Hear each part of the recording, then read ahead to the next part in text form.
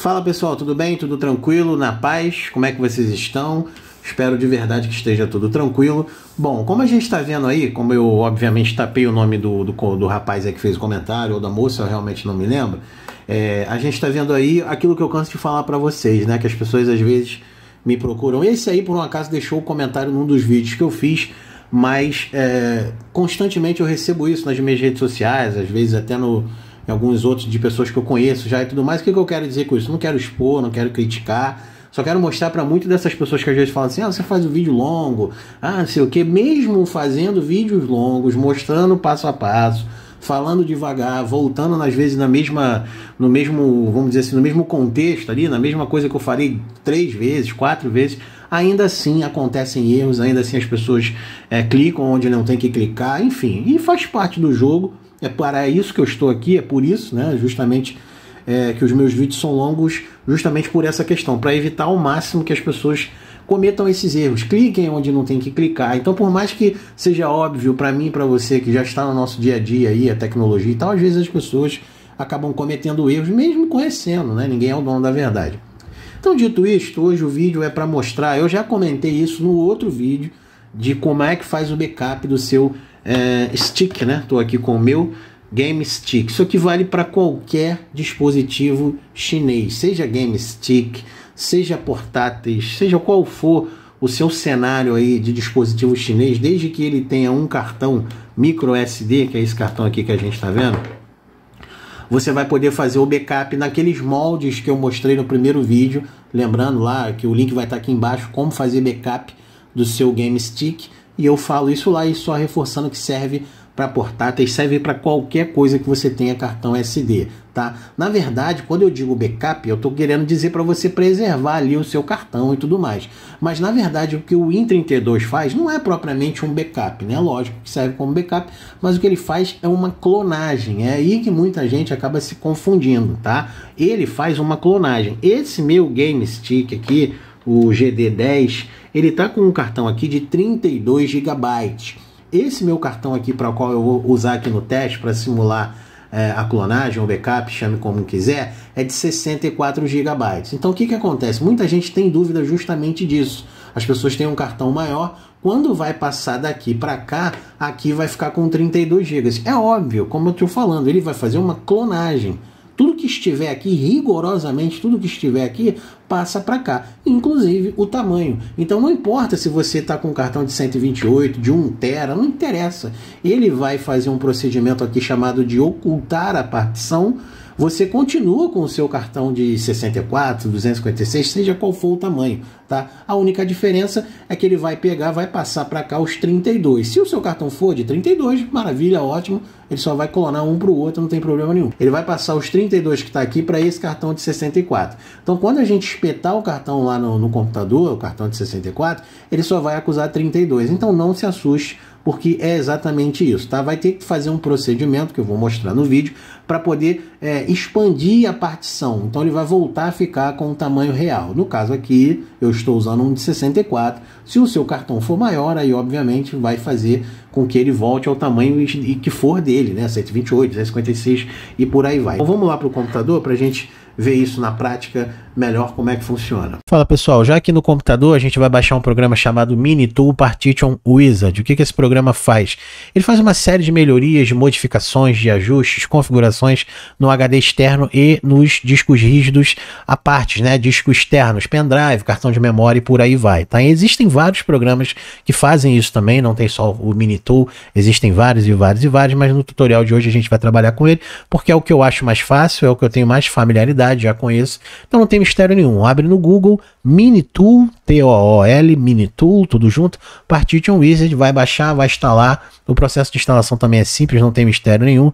Instalou lá, carregou o programa, ele vai cair nessa tela. Notem o seguinte, tá? O que, que eu recomendo vocês a fazerem? Carreguem o programa primeiro, tá? Abram o programa, abriu o programa, beleza. Aí depois sim você coloca o seu cartão. O que vocês estão vendo aqui, ele não, ele não cuida, ele cuida das partições, como tá aqui, ó, em separado, mas para ele, ele não divide aqui em blocos as partições. Então eu acho, por isso que eu gosto dele, porque fica mais fácil da gente trabalhar.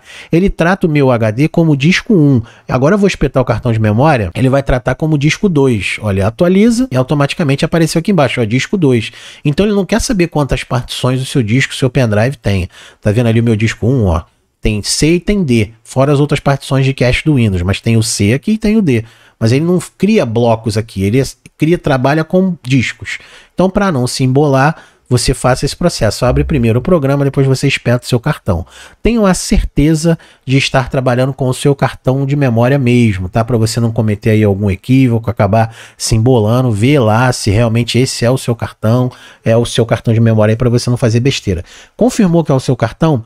É normal isso aqui, principalmente para quem não conhece, nunca viu. O meu cartão, por exemplo, como a gente viu, é de 64, mas o sistema de, de formatação aqui, a tabela de partição do Windows, não leu os 64. Eles comem ali uma fatia então, geralmente, um cartão de 64 aparece no Windows com 60 ou 59 GB. Isso é normal. Seu cartão não é falso, quer dizer, não tem como eu dizer, né? Não sei onde você comprou, mas é normal aparecer com um, um pouco de tamanho reduzido ali, tá bom? Isso serve para qualquer tamanho de cartão. De 32 GB, às vezes aparece com 25, 28, depende do cartão. O de 64, por aí vai, é normal morder uma fatia. Qual é o primeiro passo que você vai fazer aqui? Você vai clicar com o botão direito em cima do seu cartão de memória. Você vai vir aqui em formatar. Tomem cuidado cuidado, pausem o vídeo, façam com calma, para não acontecer igual aconteceu com o nosso colega lá de acabar fazendo uma besteira, tá? Então esqueçam tudo isso aqui por enquanto. Vem aqui em formatar. Quando você clicar em formatar, você pode escolher um nome ali que você queira. Tá? Eu, vou, eu botei ali teste do stick, você pode botar o nome que você quiser ali. Sistemas de arquivo. Aqui tem que tomar muito cuidado. Se você vai fazer esse procedimento, como eu falei, esse procedimento serve, serve para portáteis chineses, serve para box Android, para qualquer coisa. Então, se o que você for usar requer, por exemplo, jogos pesados de Play 2 que passem de 4 GB, tem bastante jogos que passam de 4 GB, deixa em NTFS, tá? Mas a grande maioria dos portáteis de baratos, game sticks, tudo isso trabalham no formato FAT32. Então eu vou botar aqui no meu no formato FAT32, tá? Esse formato não lê arquivo, não é nem que ele não lê, você não consegue colocar no cartão qualquer tipo de arquivo, não precisa ser só jogo, mas no caso aqui a gente está fazendo para jogos, mas ele não permite que você coloque qualquer arquivo superior a 4 GB.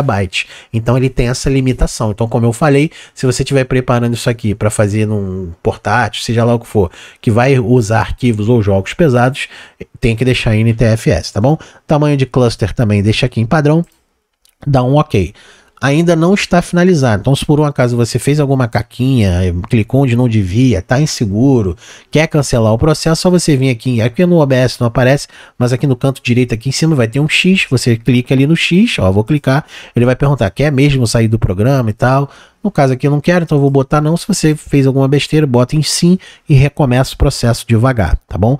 Ainda a besteira ainda não está feita. A gente só disse para o Mini Tool que nós queremos formatar o cartão de memória. Feito isso, você vem aqui em aplicar. Mesmo assim, ele ainda não vai direto, ele ainda pergunta a você: tem certeza? Feche as outras aplicações e tal, que agora o negócio vai ficar sério. Tem certeza que você quer formatar? Tenho. Então você dá um sim aqui processo é bem rápido, demora, sei lá, um minuto no máximo, se chegar a isso. Acho que no caso aqui nem, nem isso vai chegar, menos de 20 segundos já foi. Botou ali, ó, todas as alterações pendentes foram aplicadas com sucesso. Então, esse é o primeiro passo que você vai fazer, lembrando que o processo de como faz o backup ou clonagem, né, que eu já mostrei no outro vídeo, o link vai estar aqui na descrição. A gente não vai ver aqui o processo de cópia, de clonagem, chame como quiser. A gente já vai partir direto para o processo de é, efetuar de fato a clonagem para o cartão novo. Então, foi como eu falei para vocês. O cartão de 64, a gente vai ver já já que quando a gente espetar no sistema depois que ele vai continuar aparecendo 32, mas eu vou explicar para vocês um pouquinho mais à frente, tá bom? Agora você pode sair aqui do Mini Tool e a gente vai lá para o Win32 Disk Image. Bom, com o Win32 Disk Image aqui aberto, tá? Ele abre dessa forma aí que vocês estão vendo. A gente já fez né, o nosso backup, nosso clonagem, já está lá. Você vai apontar. Primeiro você vai ver qual é a partição aonde está o seu cartão de memória e o seu micro SD, tá? Então isso você, eu já deixei até o que o Minitu aberto de fundo para a gente ver, ó, tá na unidade F. Então é melhor ainda para você não se confundir, tá? Tá vendo aqui, ó, nosso pendrive aí, nosso cartão de memória está na unidade F. Então você vem aqui, ele já automaticamente vai marcar. Mas por um acaso tiver outras unidades, tiver algum outro pendrive plugado, alguma coisa, tomem cuidado. De preferência, ranquem tudo, tirem tudo, deixa só o HD, porque você tem que fazer isso com HD, o sistema vai estar instalado, mas qualquer outro tipo de coisa plugada, tirem para não ter problema. Então ele só apareceu aqui no meu caso o F, porque é o único pendrive aqui, o cartão de memória que eu tenho espetado. A gente vem nessa pastinha azul aqui, clicou na pastinha azul, ele vai abrir aqui a, a árvore ali do Windows Explorer. Você aponta para onde está o seu backup, a sua clonagem lá que a gente fez.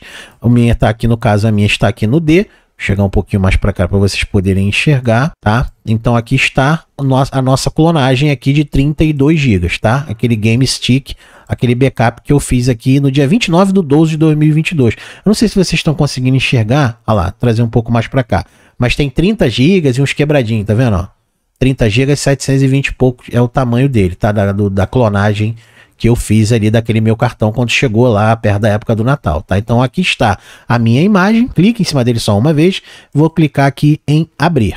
Automaticamente o Win32 já reconheceu ele, já está ali e é isso, tá? É simples e fácil. Vou vir aqui em Write tá? Naquele procedimento primeiro que a gente viu do outro vídeo, a gente clicava em Read, porque ele ia gravar uma clonagem, ia fazer uma clonagem, fazer um backup do nosso cartão. Agora o que, que a gente vai fazer? Write, a gente vai gravar no nosso cartão aqui novo a imagem, o backup e a clonagem. Então cliquem aqui, ele ainda vai perguntar, aquele lenga-lenga todo, ver se está tudo certinho, confirmou, é só dar um sim e é só aguardar. Como a imagem tem 32 GB, eu suponho, né, ele já está deu aqui uma prévia, de, só que essa prévia ela vai aumentando, ó, no mínimo aqui 10, 15 minutos, eu acho que em torno de 20, 25 minutos. Então vai fazer um café, vai tomar uma água, eu vou fazer isso agora, fazer minha janta lá. Daqui a pouco eu volto para terminar o vídeo, tá bom? Esse processo demora mesmo, pode deixar aí que leva aí um bom tempo, tá bom? Bom, o processo terminou, é assim mesmo, tá? Vai aparecer para vocês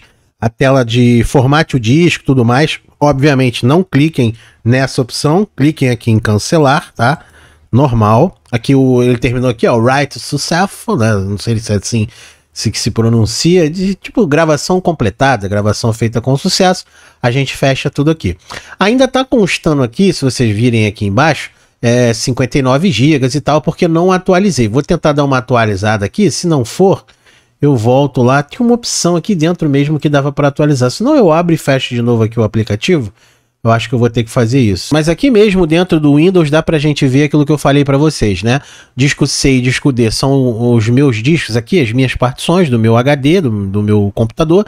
E aqui são as partições do Game Stick. Vocês notem que tá rigorosamente como no primeiro vídeo que eu fiz quando a gente foi fazer lá a questão do backup, da clonagem. Aqui no primeiro momento é a partição onde fica o Emuelec, o sistema em si, né? Que é eu chamo, eu chamo não é a partição de boot, onde está realmente localizado lá o sistema sistema com todas as informações. É como se aqui fosse o Windows, né? Essa, essa parte aqui onde está o Emuelec é como se aqui fosse o Windows e aqui a pasta game, que é onde de fato, onde, de fato onde ficam as ROMs, os jogos e tudo mais, tá? Não tem mistério nenhum. Então vocês podem notar aqui que aqui, não sei se dá para vocês virem, mas aqui tá 511 megabytes e aqui está 923 megas livres de um total de 25 gigas e uns quebradinhos, tá? Então se a gente abrir aqui novamente o Partition. Bom, abrindo aqui o Partition Wizard, deixa eu fechar aqui essa formação aqui de compra.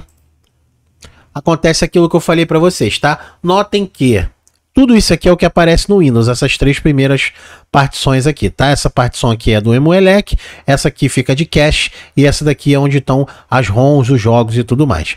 Estão vendo aqui do lado que tá, ó, 31.1 GB não alocado? Aí é que está o pulo do gato, é aí onde muita gente se confunde, muita gente fica, nossa, deu errado o processo, tudo mais. Meu cartão era de 64, é, foi convertido para 32. Não existe, né? Não, não tem como isso. Um cartão ele tem o espaço físico de 64 GB, não existe como você converter ele, pelo menos até onde eu sei, né? Diminuir ali o espaço dele. O que acontece são essas partições, esses sistemas de arquivo que os sistemas operacionais criam. O Windows tem o seu, o Linux tem o seu, cada sistema operacional trabalha de uma forma, tá bom? Mas está aqui essa partição que vocês acham que sumiram. Óbvio que aqui no caso eu estou usando um cartão de 64. Se o seu cartão, por exemplo, fosse de 128 GB, você ia gravar os 32 GB que eu deixei lá de backup, lá ISO. Quando você gravasse no seu cartão, ele ia ficar só com 32. Quando você viesse aqui, ao invés de 31 GB como está aparecendo aqui no meu, ia ter o restante aí para você, sei lá, 80 e poucos gigas, não é isso? Mais ou menos aí, 80 e pouco, 90, 100 e pouco, sei lá quanto é. Acho que de 128 tira 30, arredondando ali, daria uns 90 gigas, 88, uns quebradinhos. Tá? Então aqui é isso. Vai ficar aqui não alocado o espaço que seria restante do seu cartão. Então nós vamos voltar aqui no Partition Wizard, aqui no nosso cartão. Na esqueçam, novamente falando, esqueçam a pasta Emuelec, esqueçam essa daqui. Tá? A partir de agora, a gente só vai trabalhar com a pasta games, só com essa pasta game aqui, que é onde estão os jogos, as ROMs, tá? Nós só vamos trabalhar com ela. Então voltem lá no Partition Wizard, em cima da pasta game, tome cuidado para ver se é realmente ela. Não tem como vocês errar, errarem porque ele já mostra ali, ó, 25 GB, tá? No meu caso aqui, se o seu cartão for maior, preste bem atenção. Então, dá um botão direito, você vai vir aqui, ó. Antes da gente partir de fato, a gente tem que vir aqui no espaço não alocado, clica com o botão direito aqui, você vai criar. É normal, ele vai dizer isso, papapá, papapá, porque o Windows só pode reconhecer a primeira partição de um disco removível. Ok, dê sim. Ele vai perguntar aqui qual o sistema de arquivo que você quer. A gente vai colocar FAT32, que tem que ser igual a outra partição lá que nós criamos naquele momento que a gente foi formatar, tá bom? Então aqui deixa do jeito que tá, não vai mexer em nada aqui, vai dar um OK. Pronto, está aqui ó, FAT32, FAT32. Terminou? Não, a gente tem que vir aqui em aplicar. Vamos dar um sim. Vamos terminar ali o processo. Espera aí, deve terminar um 10, 15 segundos. É bem rápido o processo. Tudo lógico, depende da velocidade do seu cartão, do seu sistema e por aí vai.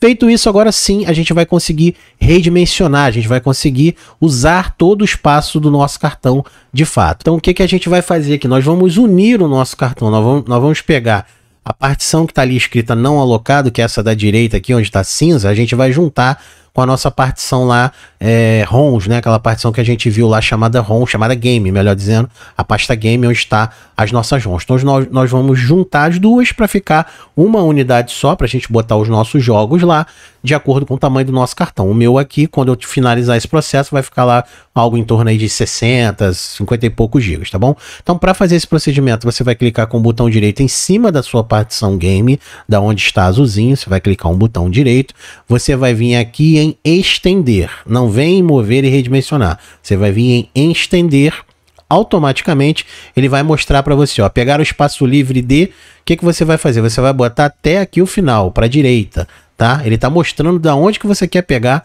o espaço livre. Então ele já ele mesmo já mostra aqui do espaço não alocado, que era aquele da direita, você pega a setinha e bota toda para a direita lá até o final, tá bom? Vai dar um OK. Quando você fizer isso, ele automaticamente vai preencher ali todo o cartão. Estão vendo aqui embaixo?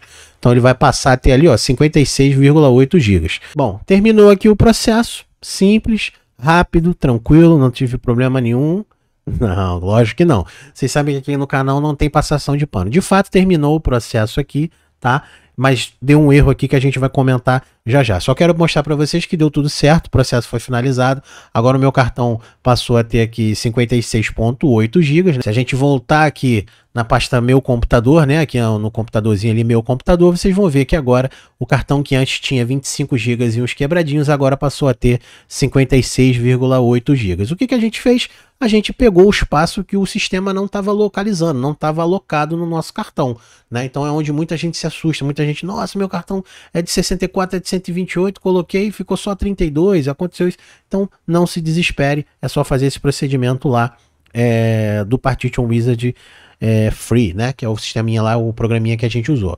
Qual foi o erro que aconteceu comigo? Quando eu terminei ali de fazer aquele procedimento, tava aqui a pasta game, aqui do lado estava não alocado, eu falei para vocês, clicar com o botão direito em cima da game, vim ali em estender, joga a setinha para a direita, beleza, dá ok, vem aqui, vai lá em aplicar e manda iniciar o processo.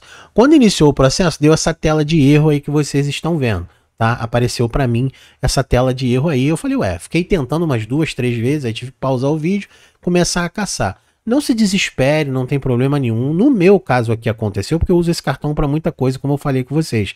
É box Android, é um telefone, eu boto esse cartão em tudo que é lugar para fazer os testes. Podia ter alguma partição ali, algum problema que estava dando algum conflito. Se isso acontecer com vocês, acontecer essa tela de eu aí, não se assuste, não se desespere. Você vem aqui né, no seu computador aí, né? Você vai na pasta meu computador, Aqui na opção do Emuelec do seu cartão, com muito cuidado, devagar, preste atenção, porque se mexer aqui, não tem volta, vai ter que regravar tudo de novo. Aqui é o sistema operacional lá do nosso Game Stick. Se você estiver fazendo para o seu portátil, é a mesma coisa. Se você estiver fazendo para o seu console, é a mesma coisa. A pasta aqui, Emuelec ou a pasta Sistema, é onde, obviamente, está o sistema operacional. Então, muito cuidado. Botão direito, você vem aqui em Propriedades, depois você vem em Ferramentas, depois você vem verificar. De novo, devagar. Botão direito, propriedades, ferramentas, verificar.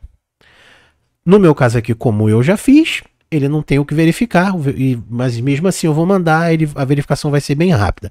No caso de vocês é só clicar aqui, ó, verificar e reparar essa unidade. Deve demorar aí, dependendo do tamanho do cartão, algo em torno de um minuto, um minuto e meio, um pouquinho mais, um pouquinho menos. E ele automaticamente, se tiver algum erro na partição, ele mesmo já corrige, tá? Às vezes é erro de leitura, algum cluster danificado, algum problema, ele mesmo já corrige e resolve aquele problema. Então você vem aqui verificar a unidade, no meu caso aqui, como eu já tinha feito, como eu falei, não tem mais o que ser verificado, dá um fechar, dá um ok. Ou cancelar, tanto faz. Então é só você voltar lá no Emoelec e agora sim seguir o procedimento normal, tá? Então fez esse procedimento, apareceu essa tela aí com essa bolinha vermelha aí dizendo que deu erro no sistema de arquivos, em alguma coisa assim, você dá um ok, fecha, sai do Partition Wizard, vai lá e faz esse procedimento, tá bom? É bom que acontece esses erros que já ajuda, possivelmente alguém teria algum tipo de problema, já deixaria aqui nos comentários, então eu já estou respondendo, tá bom? Deu isso comigo, fiz esse procedimento, resolvido, não teve problema nenhum. Agora o meu cartão está assim com 64 GB, né? 56, como eu já comentei com vocês, a questão de tamanho.